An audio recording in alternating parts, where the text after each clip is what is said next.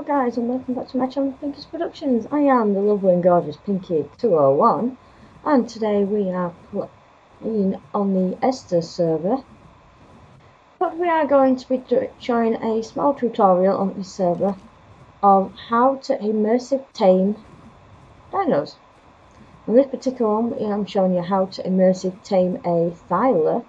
Now on the server we have obviously the immersive taming and we have rare sightings.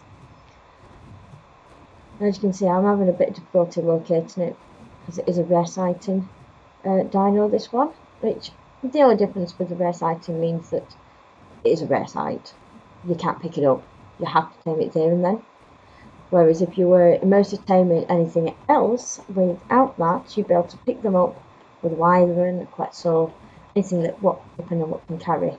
You'll be able to carry them back and tame them wherever you want, unless it's something that's not carryable.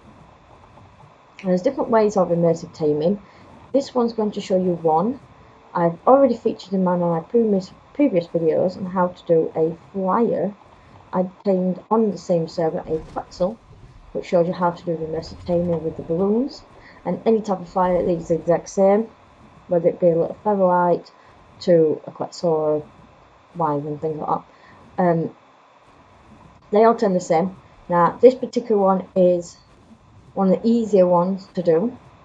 Um, I also will be showing you on how to do it via fighting, where you have to fight the dino to half its HP, and then it'll submit to you. And then I'll also be covering on um, how to do it by knocking them out and immersive them that way. So there's only what one, two, three ways of taming. No four ground, light, trophy, knockout. Yeah, well. As you can see, I know I know most of my banners covering it, but it says a rare ebon thyla near so and so and so and so, and it's right here. Took me a while to find it, and it is very battle drawn and bloody, so I'm trying to pin it in as quick as I can because I'm on extinction, and they corruption will destroy them pens, so I go as quick as I can to get this done.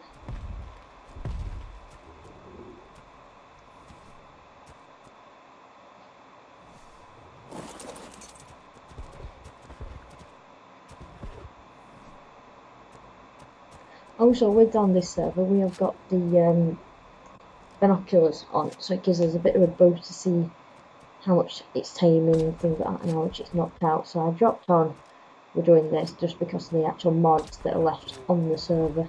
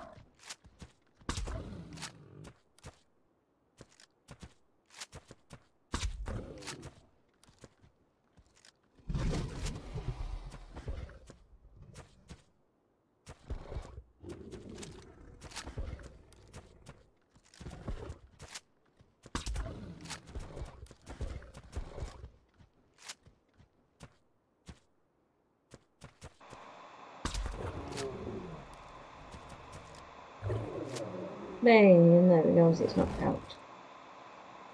So now it's unconscious after knocking it out. We literally just put the kibble onto the floor, or you can use a meat, um, pretty much whatever it says in the taming journal, what you need to tame it with.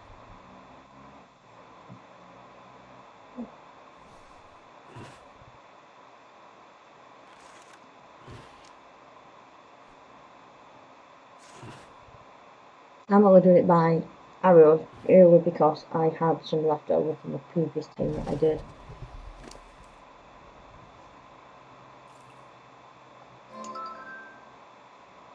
it's a bit of what I had just to get it helpful a little bit, it a bit too bloody for my liking.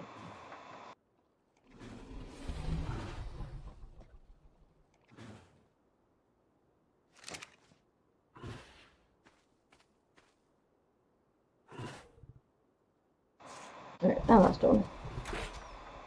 I'll let you just shoot, give it onto the floor. Once you get so much down, it will automatically wake up its own accord, like so. So that only needed two, but I put three down because that's Bellows need three, so it's just easier.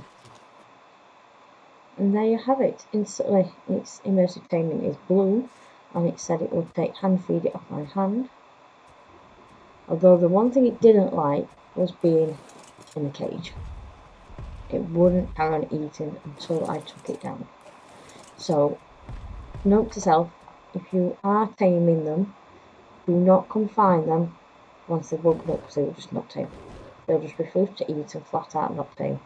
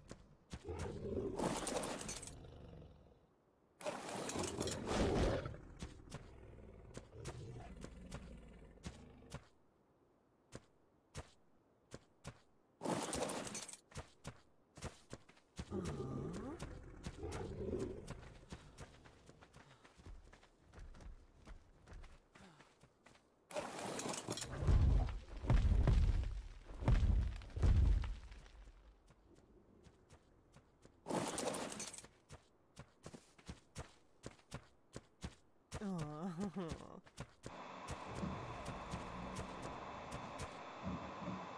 And there you have it. That's how to immersive team via a knockout.